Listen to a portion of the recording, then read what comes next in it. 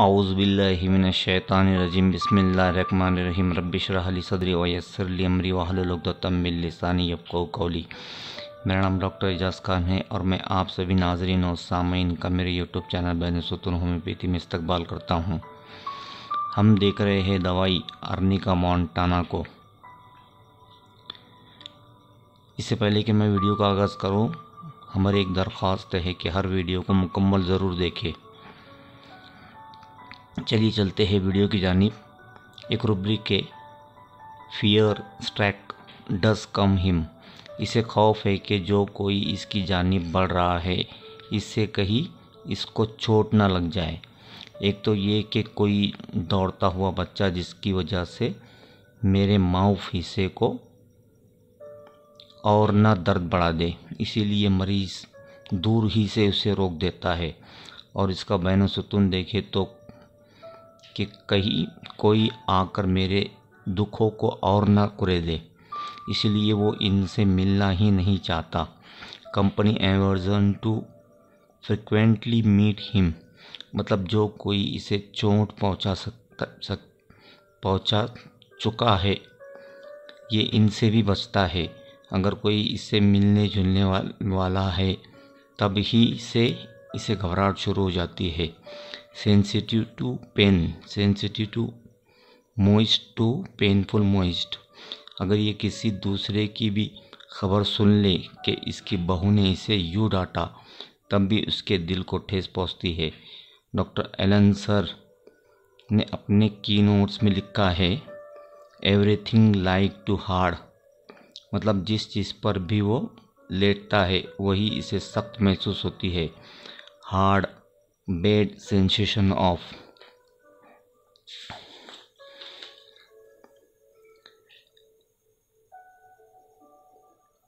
Complaints constantly of if यानी वो बार बार शिकायत करता है कि बिस्तर बहुत सख्त है।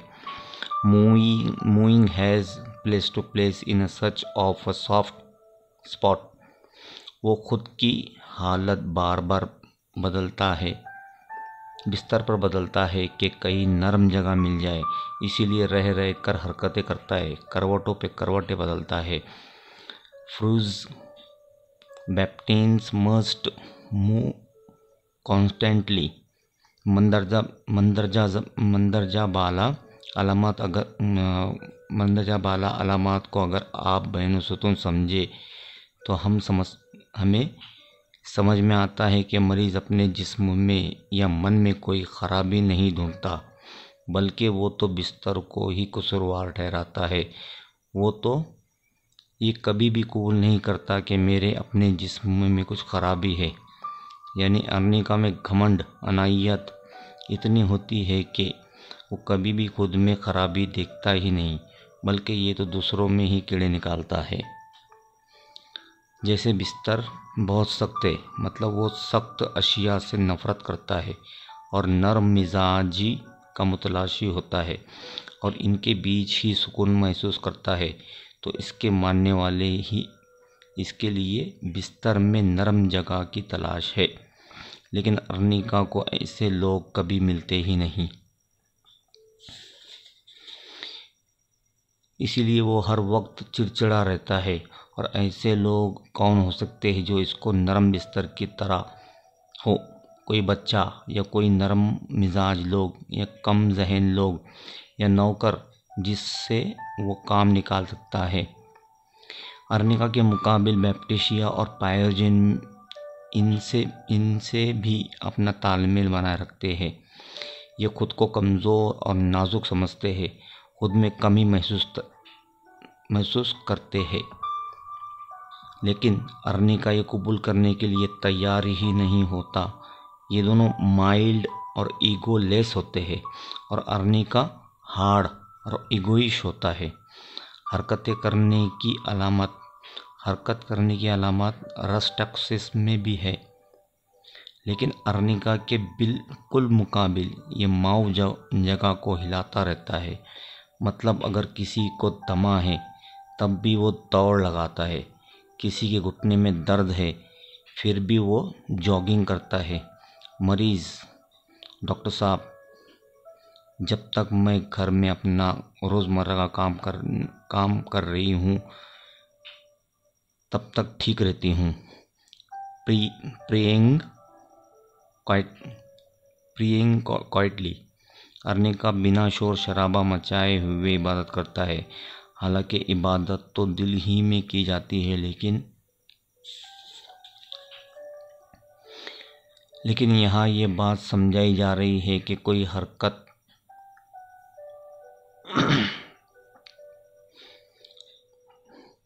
कोई हरकत नहीं करता, यानी वो दूसरों को पता ही नहीं चलने देता, वो इबादत कर रहा है। आर्सनिक और अर्निका दोनों भी चुल चूँकि किसी ज़रूरत से दूसरों की मदद चाहते हैं, लेकिन कहने में हिचकिचाते हैं, इन्हें दवाई तो चाहिए, बल्कि दिल ही दिल में दुआएँ करते हैं कि मैं इस डॉक्टर के ज़रिए अच्छा हो जाऊँ। मसलन, एक कमज़ोर शख्स है, वही तो किसी ताकत, ताकतवर से दुआएँ कर सकता है, और दुआएँ भी उसी से करेंगा जिनसे दुआएँ कबूल होने की उम्मीद हो। लेकिन ये चूँकि खुद को दूसरों के सामने कमज़ोर साबित नहीं करना चाहता, इसीलिए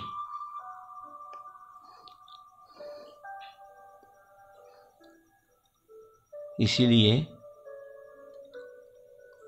दिखावा नहीं करता। लेकिन अंदर से ये खुद को कमज़ोर समझ रहे होते हैं, यानी इनकी अक्सर कमज़ोर हो जा यानी इनकी अकड़ कमज़ोर हो जाने के बावजूद भी, फिर चाहे वो कमज़ोरी बीमारी से मुतक़ हो, या पैसों की वजह से हो, या क़वत की वजह से हो, या खूबसूरती की वजह से, लेकिन ये किसी न, के सामने नहीं झुकते।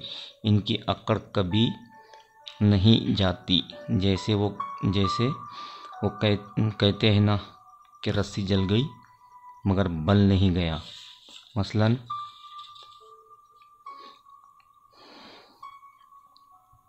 अपने किसी इलाज के लिए, ये डॉक्टर से इलाज लेने के लिए भी आगे आ गए तो बहुत खामोशी से ताकि किसी रिश्तेदार को पता ना चल जाए।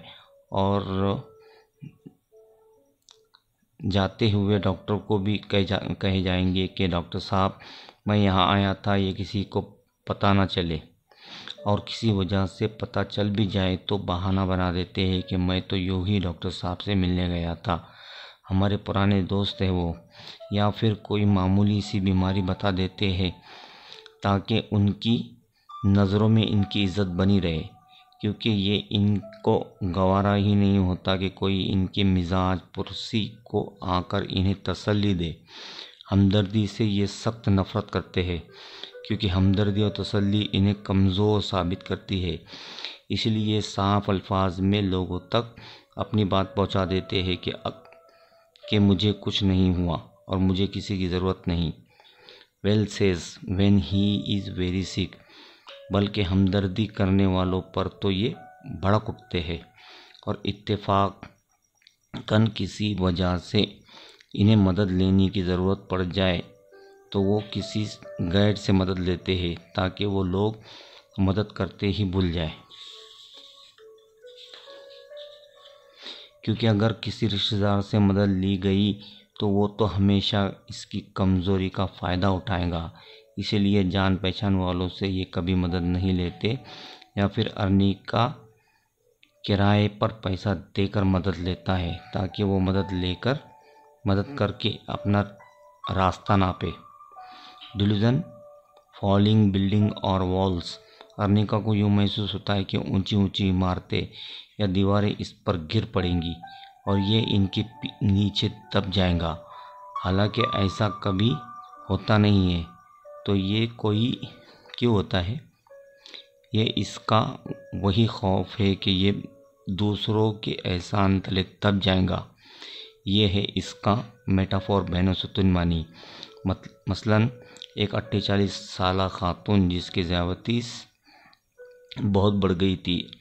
और पैर कमज़ोर हो गए थे। वो कहती है कि मेरी सास, ससुर अपने मन की कुवत से मुझ पर हमला करते हैं ताकि मैं परेशान रहूँ और इनके काबू में रहूँ, जिसकी वजह से इस खातून को बहुत घबराहट होती है।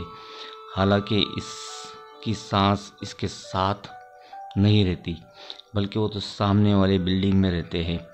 डॉक्टर, ऐसे कैसे हो सकता है? क्या आपकी सास जादूगरनी है? उम्मीद है कि आपको वीडियो पसंद आ रहे होंगे।